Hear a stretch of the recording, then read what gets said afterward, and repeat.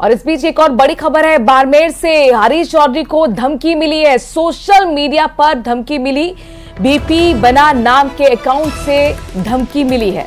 तो पुलिस अब इस पूरे मामले की जाँच कर रही है। बायतू से विधायक हरीश चौधरी को धमकी देने का यह मामला सामने आया है। जानकारी है कि सोशल मीडिया पर उन्हें धमकी दी गई है और जो जिस प्रोफ़ाइल से धमकी दी गई है, बताया जा रहा है, वीपी के नाम से बना हुआ है। अब इस पूरे मामले को लेकर के जाँच जो है, वो पुलिस ने शुरू कर दी है। खंगाला जा रहा है, आईपी एड्रेस निकाला जाएगा कि आखिर ये जो अकाउंट है, ये किसने बनाया और उसके बाद कार्रवाई को आगे बढ़ाया जाएगा। तो हरीश चौधरी को सोशल मीडिया पर धमकी मिली, जिसके बाद इलाके में हड़कम मच गया, क्योंकि विधायक हैं।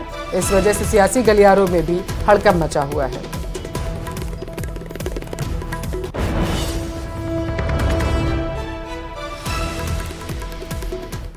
और बालोतरा का रुख करेंगे, जहाँ का सियासी पारा लगातार हाई है। रविंद्र सिंह भाटी को धमकी मिली है। निर्दलीय उम्मीदवार रविंद्र सिंह भाटी वहाँ से हैं। आपको बता दें कि भाटी को भी सोशल मीडिया पर ही धमकी मिली है।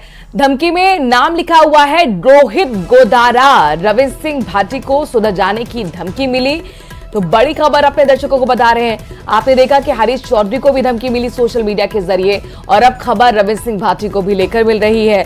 बालो तरह से खबर है कि रविंद्र सिंह भाटी को, जो कि निर्दलीय उम्मीदवार हैं, सोशल मीडिया पर धमकी मिली और बड़ी बात यह कि धमकी में रोहित गोदारा का नाम लिखा हुआ है।